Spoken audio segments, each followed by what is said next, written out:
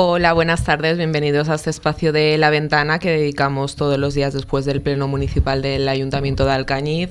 Hoy estamos con Javier Baigorri del Partido Socialista, buenas, tardes. Buenas tardes. Berta Zapater del PAR, buenas tardes. Hola, buenas tardes. Nacho Carbo del PP, buenas tardes. Hola, buenas tardes. María Milian de Izquierda Unida, buenas tardes. Hola, buenas tardes. El concejal de, de Ciudadanos, Kiko ha excusado su presencia, no podía venir. Primero de todo, eh, ayer se aprobó el expediente para iniciar la contratación del suministro mediante el renting de, dos, bueno, de dos autobuses, de un autobús y un, y un minibús. Coméntanos, Javier. Pues, eh, a ver, el tema de los autobuses en el fondo eh, ya viene arrastrándose como mínimo del año pasado. El asunto es que eh, son autobuses que ya tienen muchos años, no recuerdo exactamente cuánto, pero más de 10, con lo cual ya han pasado, digamos, del periodo que en circunstancias normales en una empresa sería de vida útil y ya hubieran sido reemplazados por otros más modernos, pero por las razones eh, que sean, pues eh, no se hizo en su momento. Probablemente si se hubiera hecho hace años, pues se podría haber optado por cualquier opción, por comprar nuevos autobuses. Eh, bueno, el asunto es que hace un año, cuando ya la situación de, los autobuses ya era muy mala, el PP eh, propuso la privatización del servicio, aunque su propuesta al final no recibió el apoyo mayoritario de los grupos. Y bueno, en cualquier caso, lo que se ha decidido, dado que eh, la eh, comprar los autobuses pues significaba un desembolso importante para lo cual no había partida presupuestaria. Estamos hablando que por renting la compra de los dos autobuses, eh, por renting con opción de compra, los dos autobuses saldrán por, si no recuerdo mal, 683.000 euros. Para que nos, no, nos escuche y no sepa qué es un renting. Un renting, perdón, un renting es una modalidad empresarial semejante al alquiler. ¿Pagarías un alquiler? sí, la diferencia con el alquiler eh, en el fondo es que tú estás eh, eh, alquilando, digamos, el uso de un, vehículo, de un coche de empresa o de un autobús, y en caso de que, pues, de, de que por avería, pues, no puedas disponer de él o por otros motivos, pues la empresa te provee de otro. En cualquier caso, lo que se ha optado en este pliego eh, es también un mixto entre lo que es el renting y el leasing. Digo el leasing porque al final también es un, modelo de alquiler financiero, pero con opción de compra. Y de hecho en el pliego hay opción de compra. En cualquier caso, los modelos de vehículo, pues el microbús tiene, debe tener mínimo 13 plazas sentado y creo recordar que 13 también eh, de pie y el autobús creo que también son 23 sentado y no, recuerdo si son 39 de pie, que con unas prestaciones en cuanto a eso, me refiero en cuanto a, pasajeros semejantes a los anteriores. El microbús obviamente pues hará el recorrido por el casco, el, autobús pues irá también por Balmol Puy Moreno y pues se han obtenido pues algunas eh, mejoras propias en realidad de, autobuses mucho más modernos como es eh, pues en rampa pues, o mejores facilidades para personas de movilidad de, disminuida.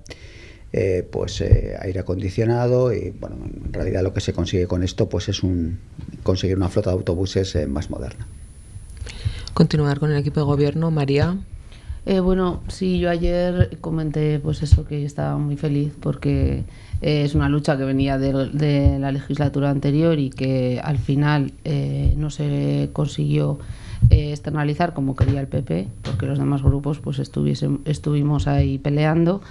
Y, bueno, el reto, es verdad lo que dice Javier, que, que se van a, modernizar los autobuses, pero yo creo que, bueno, Berta me imagino que luego pedirá que se lleve hasta el hospital y tal, que, que eso también es algo que, que, se habló en las comisiones anteriores de transporte de la, de la otra legislatura, pero también el reto es un poco modernizar no solamente el transporte, sino lo que va dentro.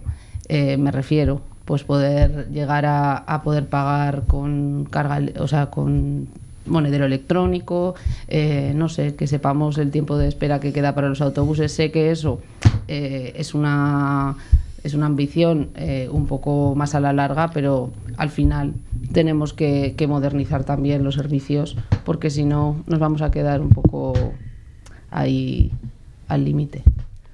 Nacho. Sí. Eh... Que veo además que apuntabas. Sí, sí, no. Según interesa. Nosotros nos, nos abstuvimos porque. Me ha apuntado porque, claro, siempre cometemos bueno, algunos eh, grupos cometen siempre el error, aunque me alegra que hoy Izquierda Unida lo ha dicho correctamente, la mm, definición de lo que el partido, el Grupo Popular, en estando en el gobierno, tenía intención y opina ahora, y, en consecuencia por eso nos abstuvimos ayer, que determinados servicios en las administraciones se pueden prestar de manera más eficiente y, y ¿por qué no decirlo también, más moderna y con un ahorro de eficiente, tanto en ahorro de costes como eh, a la hora del servicio, pues que se preste de una mejor manera. Eh, y nosotros eh, pues pensamos que este tipo de servicio, el autobús urbano, es, es uno de aquellos que si se externalizara seguramente con una empresa especialista, pues se prestaría de mejor manera. el ayuntamiento de Alcañiz no tiene un experto en transporte urbano, no hay un técnico en ningún área que, del cual emane la responsabilidad de gestionar el autobús y, que esté capacitado para precisamente lo que decía la señora Emilian de modernizar el servicio, eso no lo tenemos. Si queremos modernizar el servicio seguramente habrá que recurrir a una empresa eh, y que nos haga un plan de modernización de la red urbana de Alcañiz de transporte urbano de autobuses y nosotros creemos que eh, si se hubiera cambiado el modelo eso lo conseguíamos, como se está haciendo, por otro lado, en el, bueno, no me atrevo a decir un porcentaje porque no lo sé, pero en la mayoría aplastante de las ciudades que tienen una red de transporte urbano. Y nosotros por eso nos estuvimos, por guardar una, eh, por ser coherentes con, con la propuesta que teníamos nosotros en la recta final de la legislatura el año pasado. Bueno, em, eh, fue, yo creo que además la señora Milian que pone, bueno, pues palabras en, boca mía que, yo creo que nunca hemos eh, planteado. No es verdad que nosotros no apoyáramos la externalización o que no formara parte de nuestro criterio, pero sí que en aquel momento, como bien dice eh, Nacho, había unos informes súper contradictorios. pues porque, pues por eso mismo, porque no había un técnico de referencia, unos contaban el personal, quiero recordar, con unos importes económicos y entonces como que los datos no eran concluyentes. Se quiso hacer todo muy rápido y es verdad que ahí sí que nosotros eh, no nos parecía eh, bueno pues dejar ese legado sin tener la seguridad de que eso era así. Pero eso no quiere decir que nosotros no, no estemos a favor o que no planteemos en algún momento, si llegara el caso, una externalización. Eh, desde luego, pues no echando a la calle ni a los trabajadores, reubicándolos, por supuesto, el apoyo, porque en aquel momento yo creo que pilló a todos como muy, pues muy de, susto, ¿no? Muy de, de querer acelerar todo. Entonces, pues bueno, es verdad que a nosotros ayer votamos a favor, porque bueno, pues un renting también es una buena, es una buena opción. Eh, no hay que olvidar, eh, bueno, ahora estaba pensando que yo creo que en Teruel en la provincia de Teruel somos Teruel y Alcañiz, los únicos que tenemos servicio de transporte urbano. Eh, no hay que olvidar que los municipios de menos de 50.000 habitantes no tienen la obligatoriedad. Ya me gustaría, señora Milian, eh, que pudiéramos ser como Zaragoza, porque pues seguramente eh, pues muchos de los alcañizanos pues no están habituados al uso de ese transporte, que no quiere decir que no lo tengamos que utilizar, pero muchas veces pues vamos andando pues quitando pedanías, por eso yo decía el ejemplo del hospital, porque eso va a generar un cambio en muchos de nosotros, porque todos no vamos a ir al hospital con el coche, entonces pues seguramente ese sea ese sea una buena opción. Pero bueno, el planteamiento de ayer yo creo que es interesante, sobre todo porque te asegura eh, pues bueno tener servicio todos los días, que era uno de los hándicaps que ocurría cuando se averiaba el autobús, pues que los que los que lo utilizaban, que normalmente son personas mayores, pues no se quedaban un día sin servicio y de esta manera, pues bueno, se cubre el servicio y nos parece una buena una buena opción. Pues seis años uno, siete años otro, pues bueno, veremos dentro de seis o siete años, eh, siempre que haya empresas que quieran eh, presentarse, porque como digo, es, no es un, no es un, un transporte rentable como para, como para como ciudades grandes, y entonces pues bueno, veremos a ver esas empresas las condiciones que ponen. Antes de cambiar de tema, Javier, ¿cuándo eh, plazos? ¿Cuándo podemos, podremos empezar a ver Según los pliegos, eh, desde el momento de la adjudicación, la empresa adjudicataria tiene seis meses para poner a disposición del ayuntamiento los autobuses. Podemos hablar mitad de 2020. Sí, aproximadamente. cambiando ya ahora de tema, uno de los asuntos que se trató ayer, además por, se aprobó por unanimidad, fue una moción del Partido Aragonés por, por el Hospital de Alcañiz. Coméntanos, ¿verdad? Bueno, pues eh, ya, no por hacer, bueno, pues eh, llevábamos ya tiempo viendo que esto no avanza, que no funciona. Nosotros presentamos esta moción el 31 de octubre porque ya veíamos ya desde hacía mucho tiempo que las cuestiones no, no avanzaban y bueno, pues se ha visto que en este último mes ha habido muchos, muchos avances, no sé si buenos o malos, pero desde luego eh, que nos hacen que estemos hablando del hospital.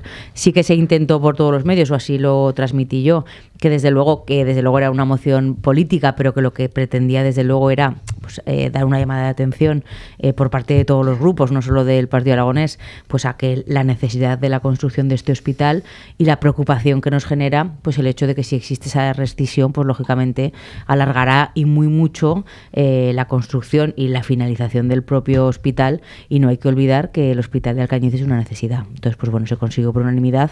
Agradecimos a todos los grupos pues eh, dar un poco este golpe en la mesa, a ver si nos oyen y por lo menos hacemos un poco de piña para, para que sea una realidad el Hospital de Alcañiz. Javier. Bueno, eh, la normativa de contratación administrativa pues es muchas veces eh, compleja y no solamente para un ayuntamiento como Alcañiz. O sea, a pocos o relativamente pocos kilómetros pues está, por ejemplo, la, la plataforma de almacenamiento gasístico de Castor, donde de repente pues empresas, curiosamente del mismo grupo, eh, me refiero que el ayuntamiento de Alcañiz, perdón, quiero decir que la que construye el, hospital de Alcañiz, pues le torcieron, le torcieron la mano a ni más ni menos que los abogados del Estado del Ministerio de Industria del Gobierno. ¿no? Eh, quiero decir con esto que muchas veces establecen los pliegos y el, conseguir que se cumplan los plazos y hacerlo de una forma defendible ante tribunales, pues a veces es complejo. En eso especialmente entiendo que ante la ciudadanía alcañizana el hecho de que eh, el hospital de, Teruel con la nueva ley de contratos pues haya hecho y esté yendo a un ritmo mucho más rápido, pues entiendo que la comparación no sea eh, fácil de explicar a la ciudadanía pero el problema en muchísimos casos, en estos casos, es como demostrar de una forma fehaciente y defendible ante los tribunales que hay un incumplimiento del contrato y que, mm, por tanto, puedes hacerlo. Con lo cual, pues muchísimas veces es, lo que se está intentando desde la consejería, entiendo yo, pues es intentar llegar eh, a acuerdos o a propuestas que eh, puedan llevar eh, a cabo, si es posible, por, por el concurso, con el consorcio adjudicatario, la ejecución del hospital y solamente si es inevitable, pues eh, rescindirlo. Pero vamos, esto es normal, eh, sea cual sea el producto. Y insisto en que la contratación administrativa en esto es realmente compleja. María. Bueno, yo desde Izquierda Unida presentamos una enmienda a la moción del partido aragonés que nos parece importante y es algo que en las otras legislaturas también se venía defendiendo por parte de la ciudadanía y es que la consejera viniera también aquí a Alcañiz a darnos explicaciones a toda la ciudad de cómo iba la actual construcción. Por otra parte, yo creo que en este tema hay que ser contundentes y decir la verdad, ¿no? que es una vergüenza lo que está pasando con la construcción del hospital y sobre todo, eh, como luego Nacho va a decir que, luego, que era mejor la, la otra, el otro modelo de, el otro modelo de hospital, eh, sobre todo porque hubo una lucha muy intensa por parte de la ciudadanía que paralizó ese modelo de, hospital y que al final se ha puesto por, por un hospital público y donde Lamban prometió eh, que el hospital público estaría en cinco años. ¿no? Han pasado los cinco años y ahora está con la, con la estructura o ni siquiera acabada cuando debería estar ya totalmente finalizado. Luego nos dijeron que para el 2021 y ahora nos, pues bueno, nos presentan que hay dificultades con la empresa. Realmente a la ciudadanía eso nos tiene que dar un poco igual. Lo que se tiene que hacer es poner en marcha todo el mecanismo para que se cumplan las promesas que se hicieron y que en el 2021 esté acabado. Eh, es verdad que que sí hay dificultades y, y, todo es muy costoso en la administración, lo sabemos también en el ayuntamiento. Pero bueno, eh, que la ciudadanía no tenemos la culpa. Entonces, que seguro que también hay mecanismos para que todo se acelere, para poner presupuestos donde eh, se pueda agilizar eh, y poder pagar las anualidades del hospital y que pueda estar finalizado en ese momento. Desde el, el otro día estuvimos con Ignacio en la consejera, viendo a la consejera, y, y ya le trasladamos que desde luego desde Alcañiz vamos a estar defendiendo con uñas y dientes los intereses de la ciudad y que nos van a tener enfrente si, si esto no avanza como debe de avanzar. ¿Qué os dijo ella? ¿Qué os trasladó en esa reunión? Bueno, nos trasladó lo que dijo ayer Ignacio en el Pleno, nada nuevo, que en ese momento tampoco se había finalizado lo que no se había finalizado los plazos que le habían dado a la empresa y, y bueno, que tenían que esperar a, a ver y que pues lo mismo que dijo el otro día, ¿no? Que si no habría que hacer una resolver el contrato. Eh, luego salía en prensa que ayer tuvieron una reunión y bueno, de esa reunión ellos no sabían nada o por lo menos no nos lo transmitieron. Nacho.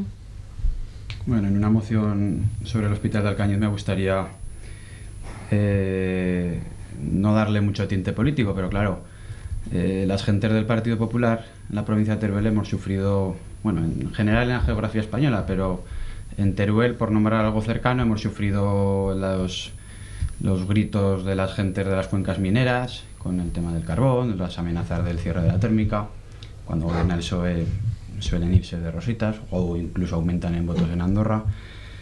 Eh, cuando el Partido Popular entró en DGA, en el gobierno de Aragón, y fue el primer gobierno de Aragón que de verdad puso la primera, dio el primer paso para aquello que tanto poníamos en los programas electorales todos los partidos fuera una realidad, independientemente del modelo de construcción del hospital, porque allí iba a estar el Salud prestando el servicio, no iba a estar Adeslas, ni Sanitas, eh, ni ninguna empresa privada haciendo la atención primaria y todos los servicios que hoy en día se dan en el actual hospital. Seguramente habría servicios como los que ahora están, están externalizados, que no privatizados, que a lo mejor incluso cabían en ese, en ese hospital con mejores prestaciones. Eh, pero claro, nos vendieron una moto, me acuerdo el haber ido a los terrenos del hospital con compañeros de partido y, y recibirnos con, pues, con los scratches tan famosos que se hacen a, a, otros compañeros de partido fuera de nuestra provincia, creo que nos han hecho, pero fuera de, de Teruel sí que se han hecho. Aquí más colectivos, ¿no? Pues va gente del Partido Popular a los terrenos de hospital y te aparecen una maraña de vecinos de tu ciudad pitándote en los oídos. Entonces, claro, después de eso, ahora no decir, no darle ningún tinte político a toda esta historia, pues resulta tremendamente complicado, porque al final, claro, de tonto uno pues se cansa, ¿no? Entonces, claro, esas mareas blancas, yo lo que pedí ayer en el Pleno es que con el mismo ímpetu que salieron entonces, en 2015, en 2014, a pitarnos a las gentes del Partido Popular por dar el primer paso para que hubiera un hospital nuevo en Alcañiz, salgan ahora. Que no lo han hecho en tantos meses que está aquello parado. Hace unos meses había unas elecciones, pasaron cuatro caminos para levantar polvo. Hace unas semanas había unas elecciones, algún alcalde se hizo una foto con alguna consejera y aquello sigue igual. Y hoy estamos con un hospital de Alcañiz que no está ni al 10% de, de, ejecución y que está a punto seguramente de rescindir el contrato o, ya veremos a ver dónde acaba. Que no tiene la culpa el Partido Socialista o los que están en el gobierno a 100%. Pero la realidad es esa, que el Partido Popular fue el primero que dio, el paso para, para que el hospital de Alcañiz fuera una realidad se rescindió el contrato, se, aboga por otra manera y estamos en 2019 a punto de, de, que aquello fracase.